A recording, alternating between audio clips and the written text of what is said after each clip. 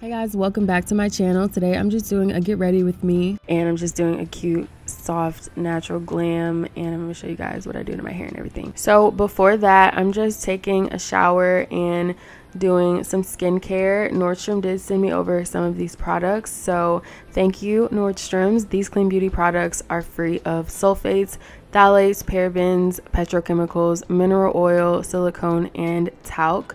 Nordstrom is also working towards environmental sustainability for our planet and allows you to bring empty containers to be recycled for eventual reuse. So, if you guys want to know more about the clean and sustainable beauty or the products I'm using in this video from Nordstrom, check out my bio. I'll have all the info there. So, like I said, I am just doing some skincare. I have been loving Youth to the People lately. I did buy some of their products a little bit ago when I was trying to clear out my breakouts.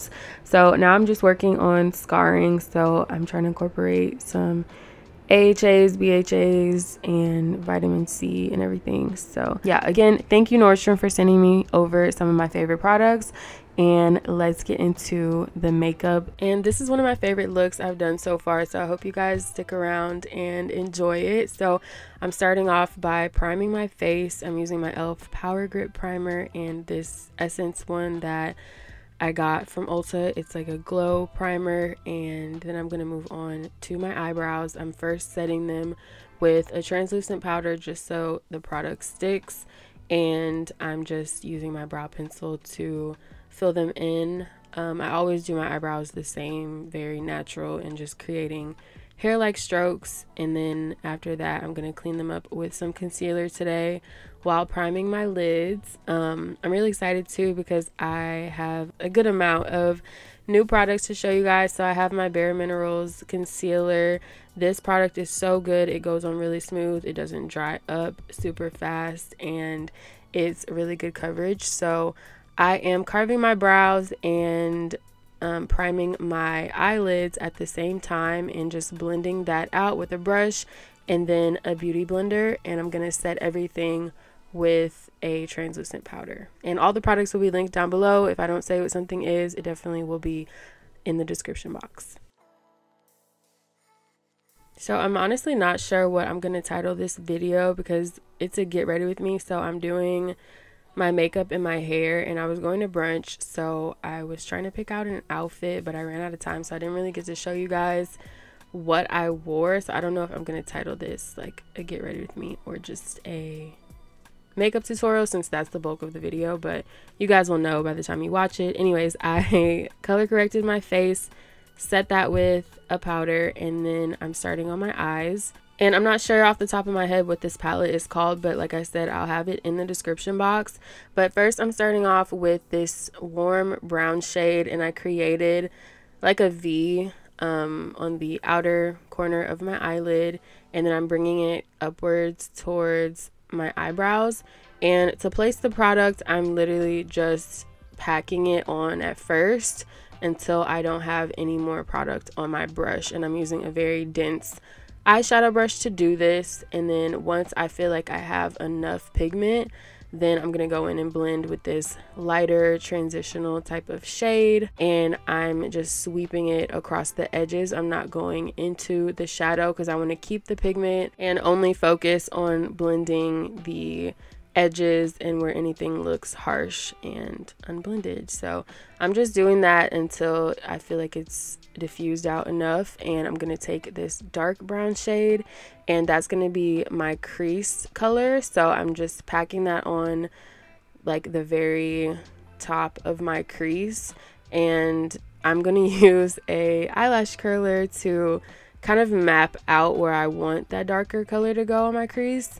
Um, I didn't apply too much shadow so you really couldn't see what it did on this eye, but on the next eye I'm going to show like a little more pigment. Um, so you guys will see right about now it creates kind of like a cut crease a little bit, but I don't want it to be super cut, so I'm just going to go ahead and blend that out until it's diffused into the warm brown shade.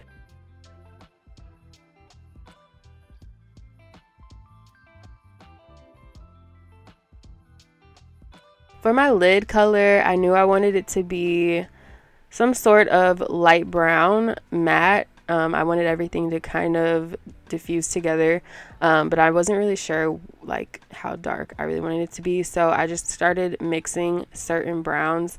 The first one is from this Morphe palette, and the second one was from the um, Master Mattes palette. I'll have both of them linked. And then I'm going in with this, the lightest shade on the Morphe palette and putting that on my inner corner. And then later in the video, I am going to want to brighten up my lid. So I'm going to bring this on top of the kind of medium brown shade that I already have on my lid. And yeah, so now I'm going in and I'm doing a winged eyeliner. Um, I'm using my Stila liquid eyeliner pen and I'm creating a very thin line all the way across my eyelid. I'm trying to keep it as close to my eyelashes as possible. Of course, if you mess up and go a little thicker, that's fine, but just try to keep it as thin as possible. And then I'm going to work on my wing. And for my wing, I really want it to be very thin and not going at like a harsh angle upwards. So I'm trying to keep it kind of straight, if that makes sense. And then I'm just going to do a very thin line on my inner corner. And this is also a new product that I've been trying and I love it. It's one of the best eyeliner pens that I've tried. And it has two sides. So one side is bigger and they have a, a mini tip for just fine detailing and stuff like that.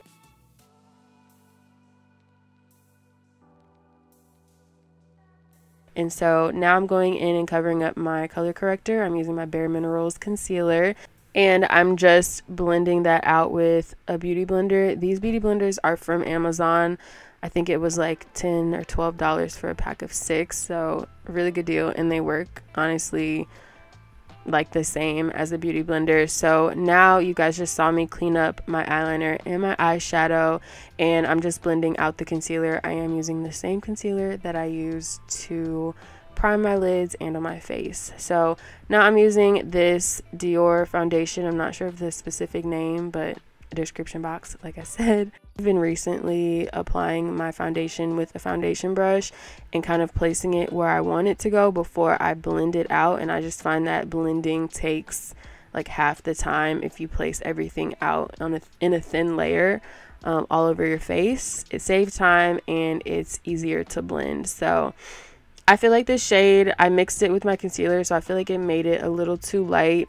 When I bought the foundation, it was too dark, so that's why I started doing that. But I think I've maybe got a little bit of a tan. So I think I would have been better off just using the foundation by itself. And now I'm just highlighting my face. So I placed my Bare Minerals concealer in the shade Honey on the normal places that I like to highlight with concealer. And then I used a lighter um, concealer shade and I used the Tarte um, Shape Tape Concealer. I think that one is the more creamy one. And I put that right on the inner part of my under eyes just to brighten that area. And then I used a little lipstick brush to kind of diffuse the product out before I went in and tapped it in with my beauty blender just to make sure everything was blended. And like I said, it saves so much time when you kind of like diffuse out your foundation or your concealer before going in with a beauty blender and blending everything out.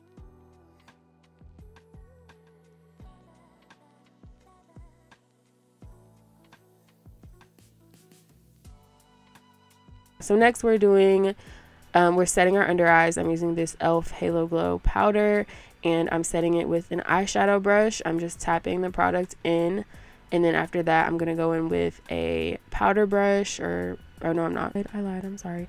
I'm going in with a cream um, blush. This one is by Patrick Ta. I'm putting that kind of on the outer corner, outer part of my under eyes, and then blending that out first with the foundation brush or concealer brush. I'm so sorry. And then with a beauty blender. And then I'm going in with this little puff, powder puff, and or whatever these are called. And I am baking my face, and I like these because you can really cut that side, you know, the sides of your nose. Um, and then I'm going in with the other color from my Patrick Ta Blush Duo, and I'm gonna just put that right over the blush, the cream blush.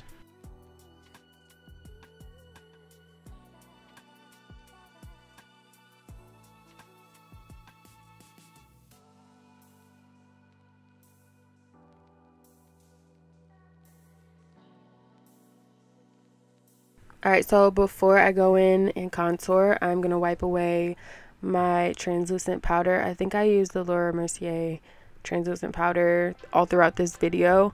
And I'm using my NARS bronzer. That's like the only bronzer that I use. And I'm going in and just bringing color and warmth back to my face. So I'm using an angled brush and I'm doing light tapping slash sweeping motions and when I contour, I really don't do it to a T, like to perfection.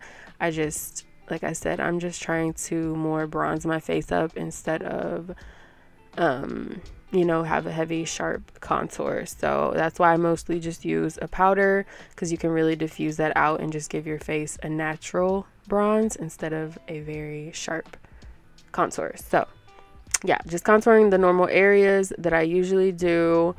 Um, you guys have seen me do it a billion times, so I don't feel like I need to really explain. But I'm just also contouring my nose and just going down the sides and underneath my nose.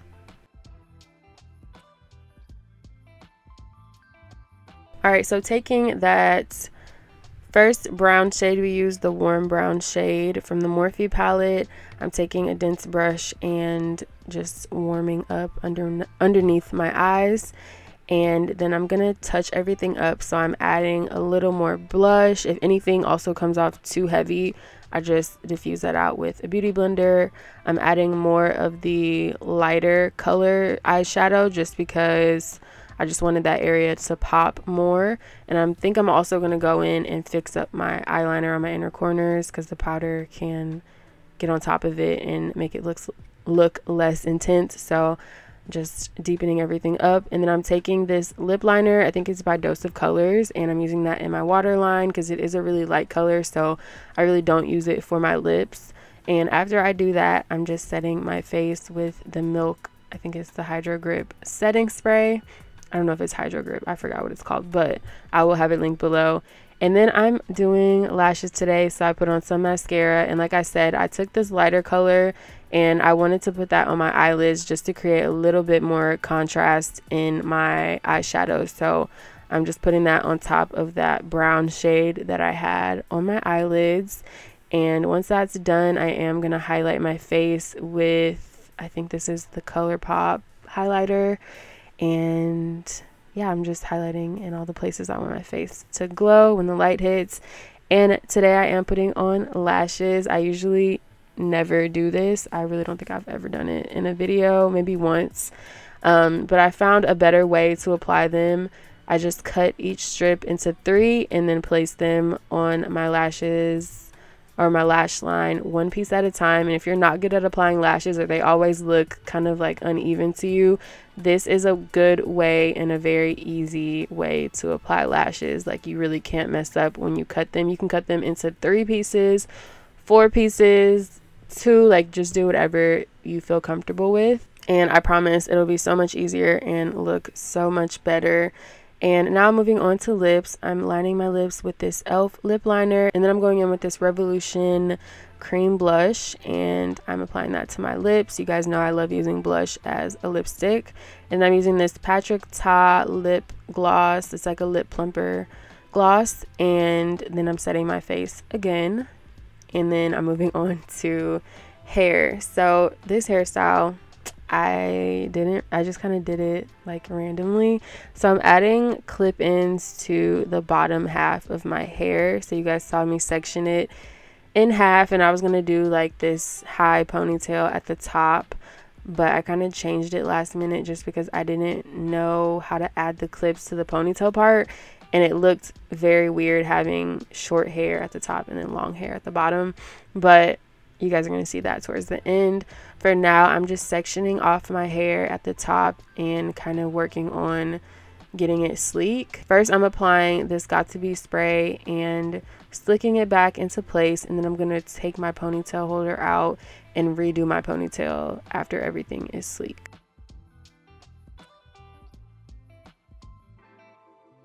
And I decided on crimping my hair because that's really the only way my hair blends into extensions.